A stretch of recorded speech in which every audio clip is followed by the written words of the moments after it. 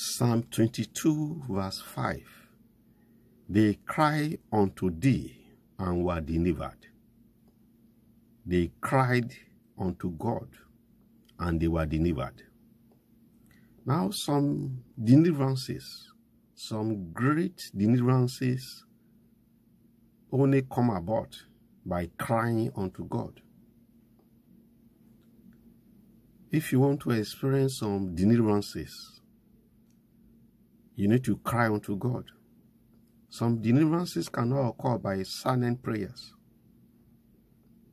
Some deliverances cannot occur if you decide to be a gentleman or a lady before God. Because Jesus himself sanctioned spiritual violence.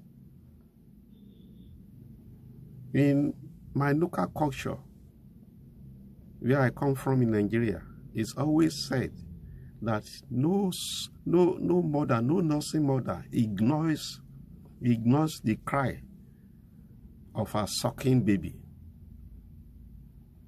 Therefore, if your ways are pleasing to God, if you cry to God, He will deliver you.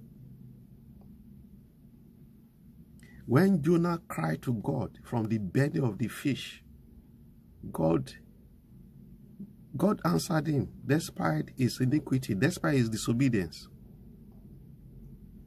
When David cried to God, despite his sin, God delivered him. Enough of silent prayers. Enough of enough of whispering prayers. You need to cry unto God. Let God hear your voice. Even Jesus Christ Himself. Jesus Christ Himself the Bible said that he never did silent prayers.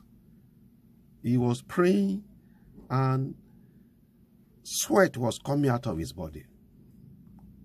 Receive the power to pray. I set your prayer altar on fire in the mighty name of Jesus Christ. Every spirit of spiritual coldness, I command it to die. Receive fire, possess fire, become fire, become a prayer warrior. From today, heaven shall hear your voice. In the mighty name of Jesus Christ. As your cry goes to God, it shall come back with testimonies, with deliverances, with, with healing, with breakthroughs, with joy, with peace. So shall it be. In Jesus' mighty name, amen.